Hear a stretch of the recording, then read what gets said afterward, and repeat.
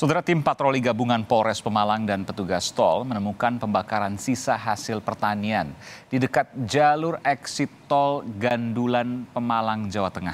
Hal ini untuk mencegah insiden kecelakaan akibat asap pembakaran yang terjadi beberapa waktu lalu dan mengakibatkan korban tewas dan puluhan lainnya luka.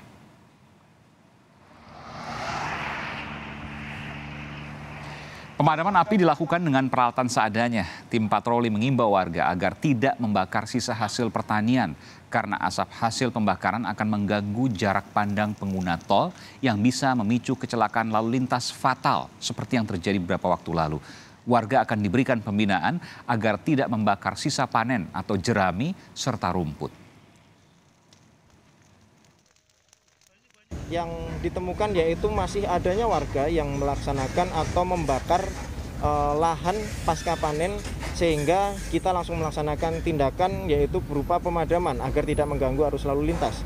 Kemudian juga ditemukan adanya tumpukan jerami yang ada di pinggir jalan tol uh, yang ditemukan di kilometer 319 jalur A yang tentunya itu dapat mengganggu aktivitas uh, para pengguna jalan sehingga 10 mobil rusak saudara setelah terjadi kecelakaan beruntun di kilometer 253 tol Pejagan Pemalang, Jawa Tengah hari Minggu lalu.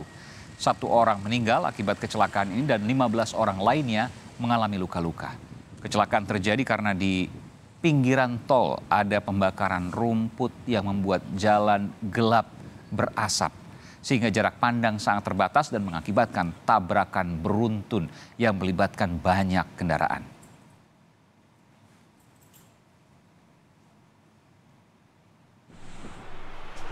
Sebelumnya saudara, hari Senin kemarin Gubernur Jawa Tengah Ganjar Pranowo juga menemukan pembakaran lahan di sekitar jalur tol Pejagan Pemalang.